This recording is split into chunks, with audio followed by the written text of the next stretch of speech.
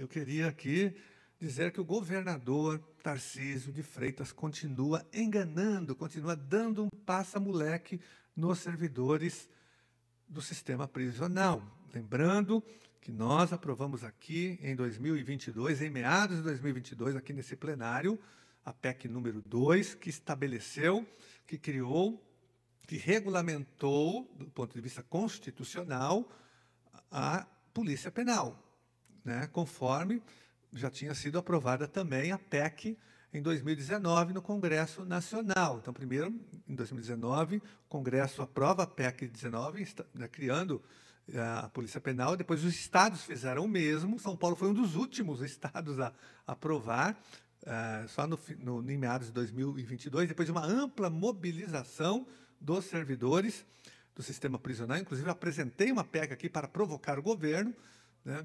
E a PEC foi aprovada. Só que ela tinha que ser regulamentada. E o governo Tarcísio prometeu, seu presidente, na campanha, no pós-campanha, em várias oportunidades.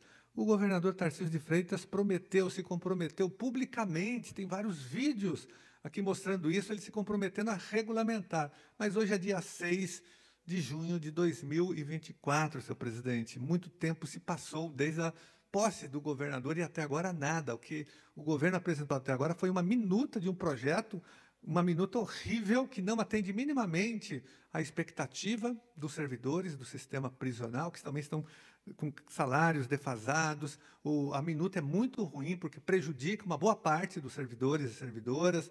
É um projeto que é uma minuta ainda de projeto, né, que assustou inclusive os servidores do sistema prisional. Não incorporou os motoristas, né, na, na Polícia Penal não incorporou os oficiais administrativos e, como eu disse, prejudica na evolução e na progressão uma boa parte dos servidores.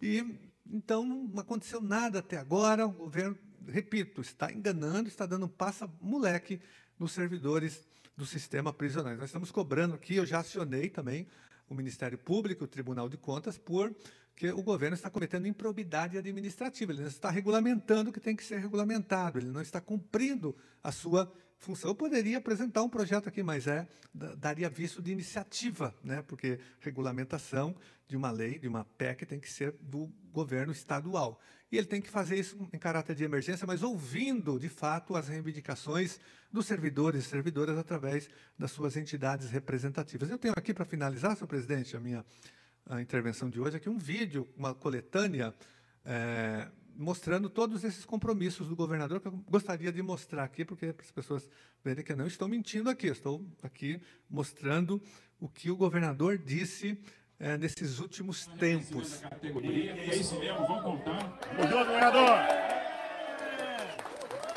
Polícia Penal vai se tornar uma realidade. Então, a emenda à Constituição de 19 vai se tornar uma realidade no Estado de São Paulo. A gente vai ter a lei orgânica da categoria sendo é, enviada nos próximos dias para a Assembleia Legislativa. Dá trabalho, dá trabalho. que a gente está fazendo tem a, a Nosso pessoal da Polícia Penal eu quero agradecer vocês por todo o trabalho que vocês realizam em prol da segurança pública, um trabalho difícil, um trabalho de enfrentamento, um trabalho de coragem, um trabalho de dedicação, de investigação, mas um trabalho que está dando resultado. Porque todos os indicadores criminais de São Paulo estão caindo.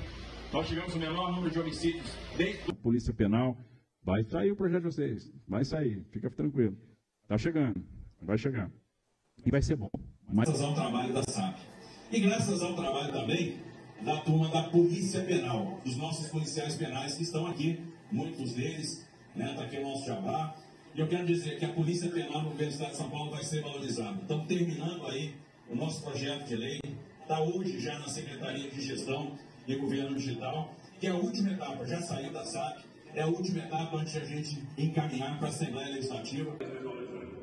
Mais uma componente da nossa segurança pública é a Polícia Penal então, em breve, nós mandaremos para a Assembleia Legislativa também um projeto de lei que regulamenta a carreira, além da questão do salário. Nossas atividades desse ano, nós estamos tanto com o projeto da Polícia Penal quanto o projeto das escolas militares prontos para apresentar. É, a ideia é que a gente possa fazer isso com a Assembleia toda presente no ano que vem, né, que a gente possa, na abertura do trabalho legislativo, fazer aqui os eventos de encaminhamento desses projetos que são importantes a regulamentação da Polícia Penal, que é um segmento importante para a nossa segurança pública. Foi feito esse grande trabalho de construção dessa regulamentação. E, efetivamente, nós vamos ter uma Polícia Penal no Estado de São Paulo, né, dando aí, fazendo a regulamentação daquilo que já foi positivado. E também a questão das escolas cívico-militares, que é um tema importante, relevante para Bom, então é isso, olha, e tem outros, não vai dar para colocar né? todos. Polícia Penal que está esperando lá a regulamentação que vai acontecer, né? o prazo que tem. Anunciamentos do governador prometendo a, o envio do projeto de lei complementar regulamentando a Polícia Penal aqui para a Assembleia Legislativa, mas até agora nada. Ou seja, o governo está mentindo, está enganando os servidores do sistema prisional. Espera agora com a palavra o Tribunal de Contas e o Ministério Público Estadual que devem atuar nesse caso, porque o governo não está regulamentando uh, a emenda constitucional. Nós temos uma alteração da Constituição Estadual que criou Polícia Penal e que obriga o governo a fazer a regulamentação né, através de um projeto de lei é, complementar que tem que ser enviado pelo governo. Estamos aguardando. E quando esse projeto chegar aqui, senhor presidente, nós vamos, é, se o projeto não contemplar as necessidades, os interesses e as reivindicações de todos os servidores do sistema prisional, porque nós não vamos deixar ninguém para trás. Motorista do sistema prisional é policial penal, oficial administrativo e de todas e de várias carreiras, que não dá para citar aqui, são muitas, devem ser todas incorporadas à polícia penal. Então, se o governo não atender essas demandas, nós vamos fazer uma luta interna aqui, uma disputa interna, e sobretudo apresentando emendas contemplando todas essas reivindicações.